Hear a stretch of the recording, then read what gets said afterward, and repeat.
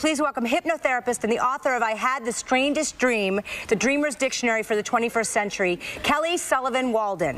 What do stars like Zac Efron dream about? Well, we're going to have our celebrity dream analyst tell you. So most of what I do is help people finish their dream. My next guest is on a mission to awaken the world to the power of dreams. Kelly Sullivan Walden is a dream expert, certified clinical hypnotherapist, and best-selling author of nine books, including Chicken Soup for the Soul, Dreams, and Premonitions. Dream analyzer and best-selling author Kelly Sullivan Walden is here to decode our dirty dreams. Here to help explain what these Z's are telling us, please welcome dream expert and author of It's All in Your Dreams, Kelly Sullivan Walden. so excited to be with you all. I, I love the so- show. I Thank love what you guys are you. doing. It's a dream come true. Tell me, wh- wh- how significant are our dreams? They're so significant. They're probably our greatest ally in life, and they're probably the thing that we most take for granted, most people in the Western world. In some other cultures, people would, if you woke up without remembering your dreams, they'd say, go back to bed. The moment you know you're starting to wake up in the morning, remember me saying this to you. Don't move a muscle. Okay. Until you replay three times the dream that you were just having, then you can get up and then write it down. You have to write it down immediately because within three to five minutes, the dream is gone. I get up to the cliff and then I stop. I don't go over. Okay. So to me, if it was my dream, I would I would think that a cliff is about living on the edge, and you are someone who is living on the edge. And sometimes living on the edge can be a little scary because you never know what's going to happen next. So instead of calling it a nightmare, it would be a venting dream. And a venting dream means that your subconscious mind is helping you to get rid of the fears. I believe every remembered dream requires some form of action.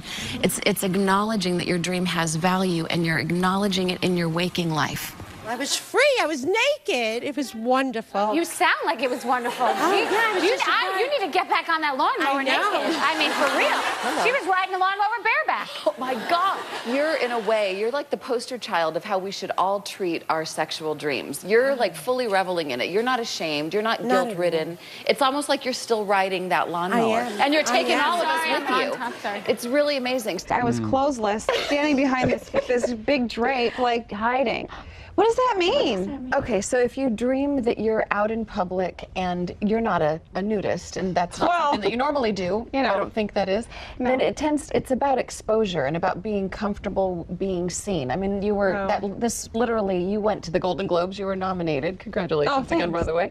And it's, a, I mean, the, the spotlight is on you. So even though you're an actress and you're used to being in public Hmm. and all of that, there may be some aspect of you that you don't necessarily want exposed. So whenever we're we're underclothed and we're out in public in a dream, it tends to be like what what is it that we don't want people to know about us in that moment? dark secrets. So, so water in a dream typically symbolizes emotions, and if we're if it's overwhelming, then it tends to be about overwhelming emotions that we that we prefer not to experience. And those emotions can run the gamut from hope to pain, all the way from falling in love to being like, oh no, I don't want to cry. All the loud noises around us, the voices of the doctors, the teachers, the social media, CNN to tell us who we are, what to do, and so many of us have just simply it's like a muscle. Mm-hmm. If you don't use it, you lose it. But the good news is is that we all have premonitions. We all have dreams. We all have access to that sixth sense, and we can get it back with some simple steps. And then I remember even in the dream I was saying, but I am hanging out with Oprah Winfrey. So what does that mean? this is a great dream. So this is this opens up anytime you dream about celebrities, it's it's usually about your because everyone in the dream is you. So this is about you hanging out with your inner Oprah. And this also so it's the fact that she's a celebrity means that there's a light being shined on this dream. It's about your success formula, whatever qualities you attribute to Oprah being philanthropic, being successful, that's your aspect of yourself coming into deep connection. And you're the Wizard of Oz, so that's kind of an interesting thing. Sorry, I had to go there. This is long before I was the Wizard of Oz. But here's an interesting thing. Our dreams are offering a solution about how to get through this challenging situation. In your dream, your dad accompanies you. And so in the dream, every character is you. So, so your dream is telling you to connect with the older, wiser aspect of yourself in order to access the wisdom that you need to do well. They all come in service of our health and our healing. They're all helping us to make our lives better, our bodies better, if we pay attention to them.